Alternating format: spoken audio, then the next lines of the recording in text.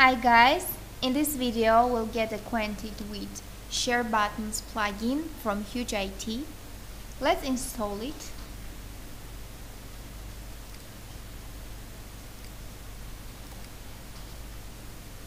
Search for Share Buttons.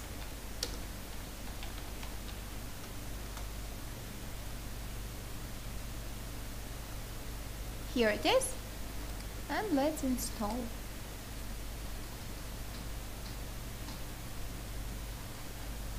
Activate.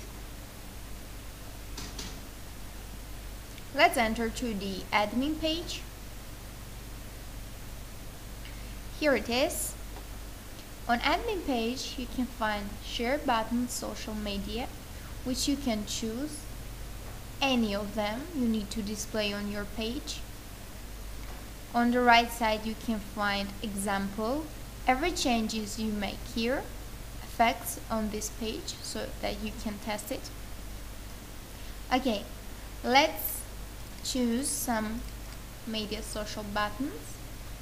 Share button size will change the size of your buttons. And button position can place it wherever you need in your post.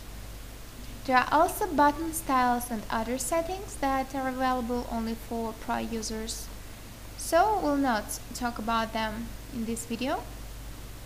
Okay now let's save it.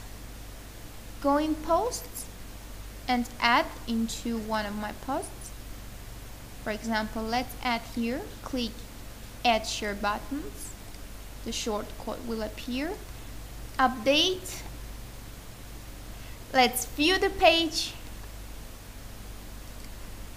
here is your post with the content information and share button under it. Now let's see how to remove these share buttons from your posts.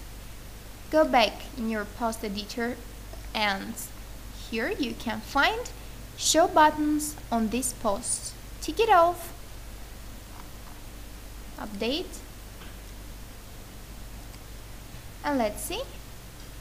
Now it is vanished. Let's bring them back one more important feature, when you insert shortcode in a post, it affects on all posts within that page. So this panel can allow to set changes on each post. For example, you can leave share buttons on this post and remove from the rest of your posts. Also change position, size of share buttons in the single post and that will affect only here. So that's all about share buttons. See you in my next video. Bye for now.